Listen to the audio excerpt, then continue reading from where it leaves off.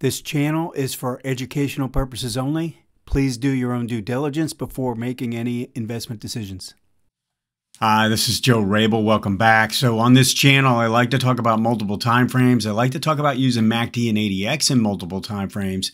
And what I want to do today is show when I would go and use an extra time frame, meaning I, typically you can use just two timeframes side by side but there are times where you have a pretty big advantage if you go down one more time frame. I want to show you how to do that and give you some details. Um, so if you have an interest in learning more about some of these techniques, I would suggest uh, starting with my book. Uh, it's at rabilstockresearch.com forward slash book uh, if you want to get some more information. Also, if you do enjoy the content, hit that like button and also subscribe. I'm going to use this chart of XLI for this example, and um, I'm going to look at this move to the upside back at the end of last year, and then we got a nice pullback to start the new year.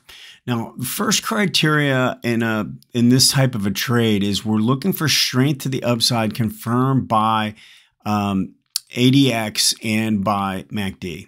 And in this case, uh, we only got green DI to confirm Okay, we had a pretty big breakout and um, we got the ADX up about 25, but this gray line going across is, I think, really useful in telling us how strong the trend is um, to the upside. So uh, we had a little bit of selling here, and then during this recovery and move to a new high, we did get green DI to break out again. So to me, that's good enough to consider uh, uh, a lot of uh, enough strength to want to play the next pullback. All right, so we always want to use these indicators to help us with the last leg. So here's the last leg before we get a pullback. So we want to use that to determine whether we think there's more upside coming. All right, so now once we have that pullback developing, that's taking place here right as we start the year on the daily chart. Now, if you notice the way it played out, we had a pullback and then we came and we kind of failed at the 18 um, but formed a little pivot there and then formed another pivot to the downside. So we created a uh, what I call an ABC correction, right? A move, a move down, a rally up, and then another uh, low. So a, a, a, B, C, right? And when we do that and we make a lower low, we can draw in a trend line. All right, now if you notice the way this is played out, we've come back to the 40 day moving average. We also had an extreme overbought reading in MACD here uh, to end the year, and notice how we've worked off that dramatically. We've we we were. I mean, this is an overbought. So MACD is considered a momentum indicator, but a lot of people don't realize it's also an overbought, oversold oscillator. And we were extremely overbought, and then we worked our way closer to the neutral level. All right, now a way I like to confirm that is I want to see the ADX, which was incredibly strong and reached 50 on this move to the upside. I want to see this work its way back down, at least back to the 25 line. And in this case, it actually dropped down below both of the DI lines and back below 25. So we had sort of confirmation at this point that MACD had probably worked off enough because the ADX had come down. And we can see during this process the strength of the buyers is just the, red line. It did cross back above green, but it had very little strength um, taking place because we can see that the ADX really isn't moving at all. So this this little pop here is actually an area where you want to start looking for a potential opportunity. All right. So we get a little pop like that, but it doesn't cause any real strength. There's no volume associated with it. So we want to go down and, and look at this and say, okay, I've got an ABC correction. All right. I'm back to the 40. I've created a trend line because I have a lower high and a lower low. And I know that I've worked my way back down to this area, but there's no real sign of strong selling. All right. Now, when I have that, okay, I've got a pattern on the higher time frame that looks really attractive, pulling back to support. On the lower time frame, I've created a uh, belief, at least in my mind, as I go through and look at this pattern, that we're coming into some form of support and we don't have a lot of selling during the process of the decline. If I have that, I have those two things in place, then I can go down one more time frame. And what I do in this case, and, and almost every single time when I'm doing this, I am I'm typically looking for a one, two, three reversal to take place to get me in um, usually earlier than I would if I were using uh, just this one time frame. But more important than anything, a lot of times it can help reduce the risk in a uh, trade. All right. Um, now, the third reason why I like to do that is because it also is going to help us determine when this is really getting ready to go again. All right. And match up with what's taking place here. We're going to get everything going back to the upside. So we can do that by looking at the smaller time frame and looking for reversal of the trend.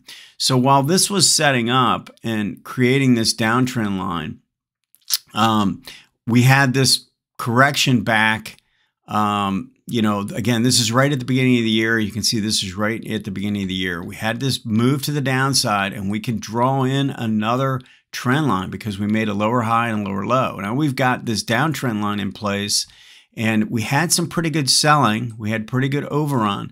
So this isn't the type of thing where I would get overly aggressive. Now, if this didn't show a lot of selling strength uh, in either of these indicators, in either MACD or ADX, this, this did it by breaking, clearly breaking the zero line, and this did it by breaking above the 25 line based on the sellers. This red caused the ADX to jump to the upside.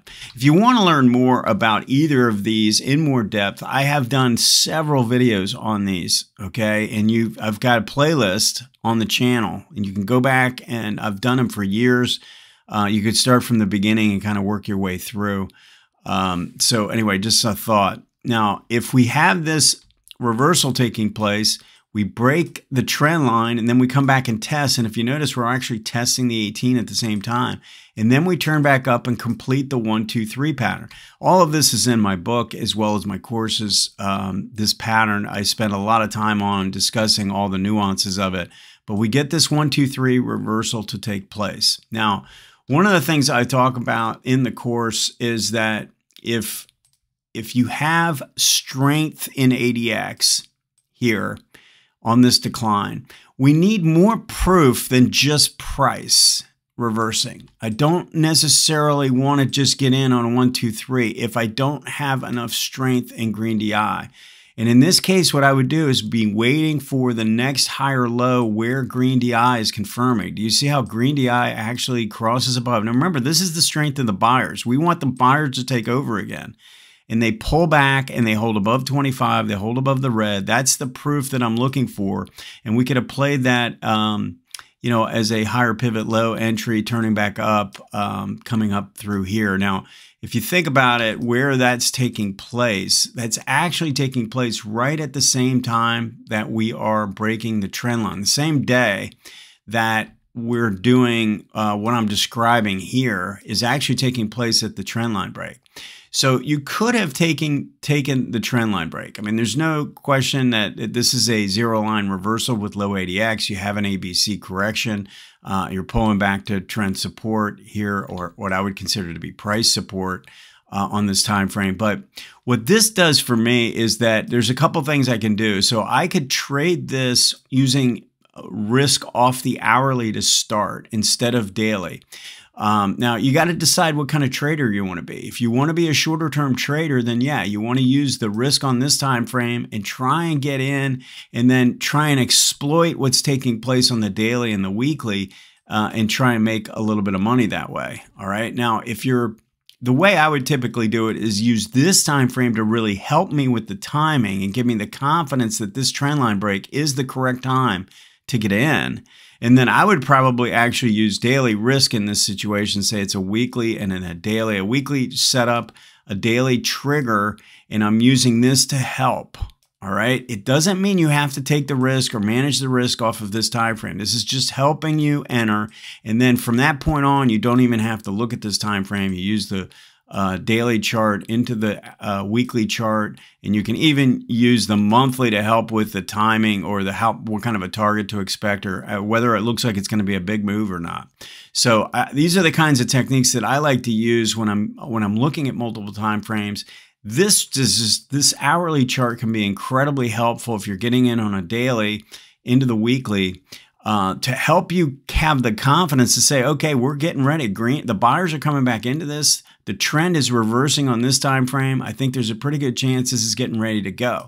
If you don't, if you get a trend line break on this time frame, but it's really not showing up as a clear reversal, an improvement in momentum across the board, then you, you, probably would want to question and maybe look for the next pullback or something like that. So it can be incredibly helpful when it comes to the timing and making a determination of whether you want to take that trigger on the daily or not. So hopefully this helps. Um, let me know if you have any questions or comments. Thanks.